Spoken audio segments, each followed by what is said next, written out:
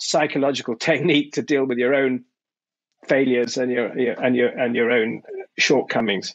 So that that brings me there two key things I want to chat to you about is that is perseverance, like how how do you prevail through the times when you don't have those great results? And the second one is I want to understand this concept of precision rhinoplasty.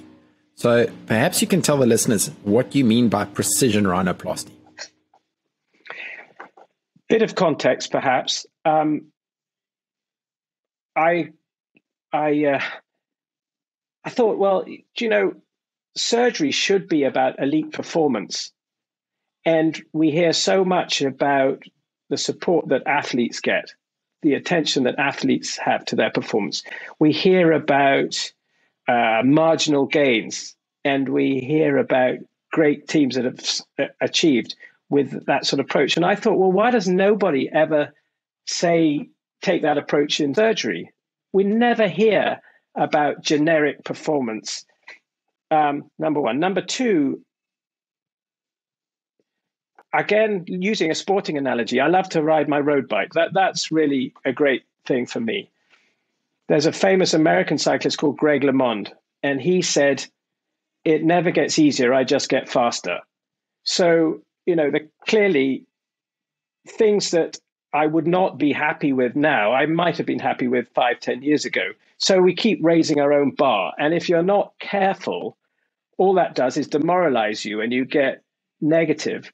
And then you say uh, you know then the fear of failing takes over. Then you think well actually do you know what? I just don't want to do that sort of case anymore and so on and so on. And at the same time i was talking to a colleague who's a headhunter and he he runs an extremely successful international american based headhunting company and when they're putting executives into new positions they give them psychological coaching to help them manage their own expectation and to help them identify what it is they're really wanting to achieve. And I thought that's really interesting. So that's what really interests me now. So I'm I'm I'm much less interested in a left brain reductionist approach to surgery that says if you follow this algorithm you'll get the right result.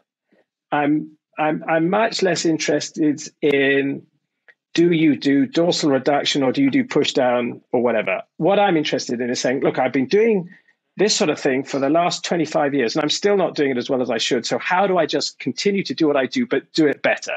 And that and that relates to things that the Stoics told us, you know, in in in 300 BC, really about resilience. It's about it's about having a positive mindset. It's about having a learning mentality rather than a judging mentality, which is a, a naive, stupid way to do things. So, so, so for me, it's um, it's about reconnecting with the things that you love, consciously saying, okay, why did I choose this in the first place? Why do I really love doing this? And remembering that, and then during surgery, not thinking about the outcome and what the slides are going to look like at your next lecture, but thinking, okay, I'm here and I'm just want to control the things I can control to the best of my ability. So that that's the performance related thing. If it's a good result, that's a bonus. But all I can do is control the bits I can. And and people have written about flow. And so it's the concepts of flow, it's focus, presence, acceptance, and determination.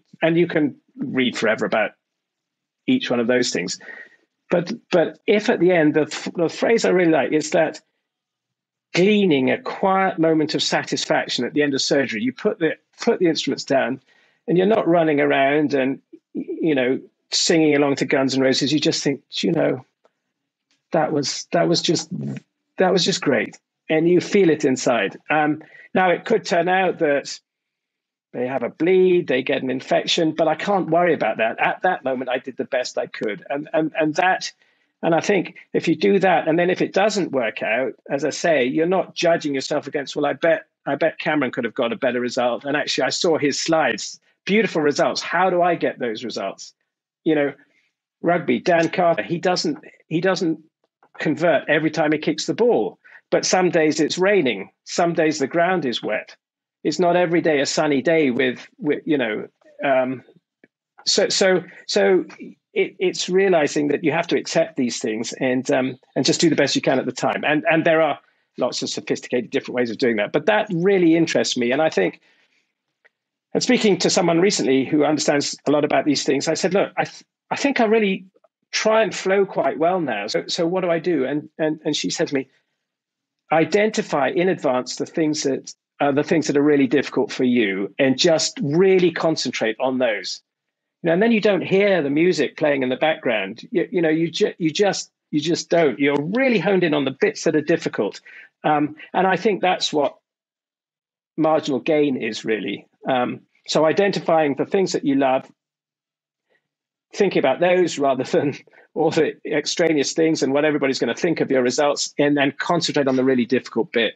Really super concentrate. Um, and and I and that to me is going to provide me with more reliable and consistent results and, and a better sense of personal satisfaction than saying, do you know what? I'm going to relearn my swing. I'm going to use this technique now, not that one.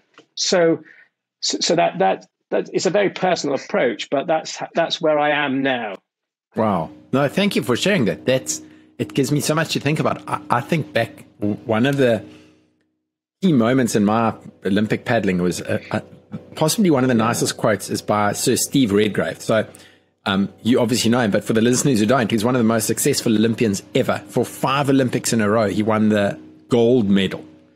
And he got interviewed and he said there are two kinds of athletes who go to the Olympics. Now, I'm saying there are two kinds of rhinoplasty surgeons who do rhinoplasty because to get there, it's difficult, you know, to qualify for the Olympics.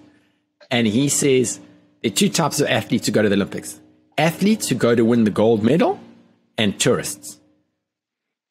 and I thought it was great. And I think this is it. This is there's that special like thing about how can I improve my performance. I'm not interested in the audience. I'm interested in sitting in this moment, this kind of hallowed moment of, of two hours or three hours in a person's life where I want to improve something that I've worked that hard for to get get to.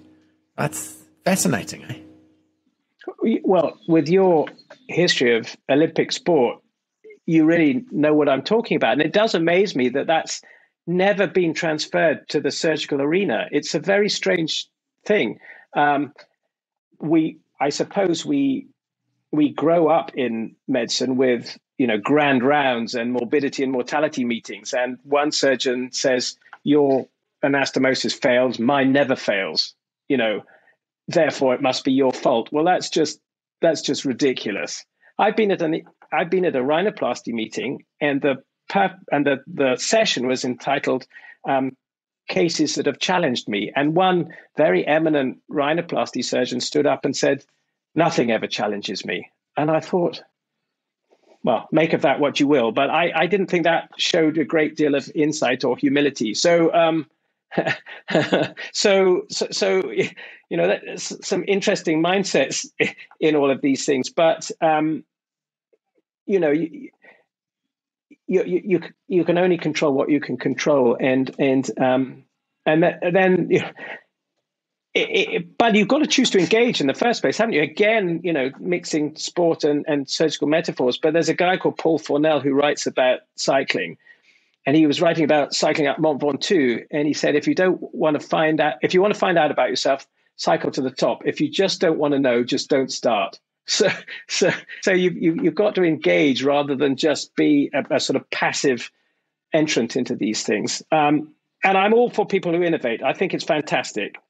Um, um, you know, and there are pioneers uh, who bring on new surgical te- techniques. Um, but I think you know, it's you know, it's not innovation for the sake of it. You've then you've then got to you've then got to um, be very diligent about ensuring that you know it's worth trying a trying a new golf swing. You know, I mean, you know, why not try and perfect the swing you've got rather than stop and start a new swing if there's not a really clear cut yes. difference in benefit. Yeah, yeah. Okay, um, let me try and change tact, uh, track a little bit here.